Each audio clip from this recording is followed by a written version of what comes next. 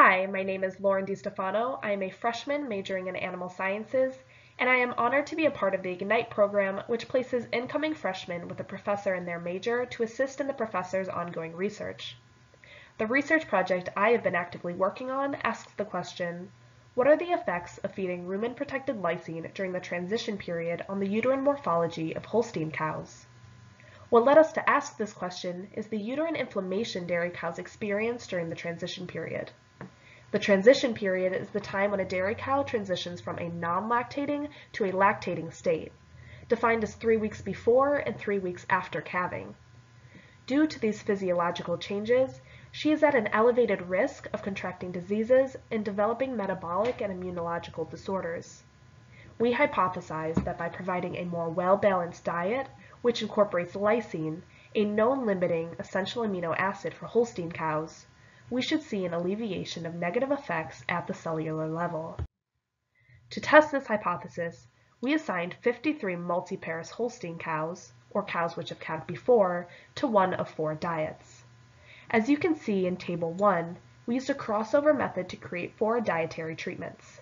LL, where lysine is fed both pre and postpartum, LC, where lysine is fed prepartum but not postpartum, CL, where lysine is not fed prepartum but is fed postpartum, and CC, our control where lysine is neither fed pre nor postpartum.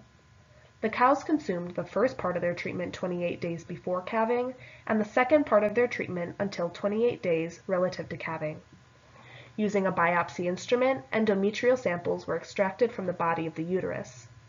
Once brought to the dairy focus lab, they were stained with hematoxylin to turn the nuclei of the cells purple and eosin to turn the cytoplasm of the tissue pink. The slides were then scanned, labeled by cow, and captured using NDPView software for further evaluation. Using ImageJ software, I calculated the total glandular area and perimeter, the glandular epithelial heights, the number of cells per gland, and the number of glands per tissue. Figure 2b depicts one gland captured from cow 47, which, in Figure 2a, exists as one of these small circular structures in the mucus excretion tract in the endometrial tissue. In Figure 2b, the black circle encompasses one gland, the black arrow points to one nucleus, and the bracket indicates how the epithelial height of one cell was measured. The data was analyzed using the mixed procedure in SAS p-values less than 0.05 were considered significant, and p-values between 0.05 and 0.10 were considered a tendency. The results from our study concluded that the treatment had no significant effects on the uterine morphology of Holstein cows, as indicated by the lack of a p-value less than 0.05 in Table 2. There was no treatment effect on the number of uterine glands nor the area or perimeter. There was, however, a tendency for a treatment effect on both the number of cells per gland and the average glandular epithelial heights. As depicted in Figure 3a, cows which received rumen-protected lysine in their diets postpartum expressed a greater number of cells per gland than cows which did not receive lysine postpartum, 68.43 cells compared to 55.15 cells respectively.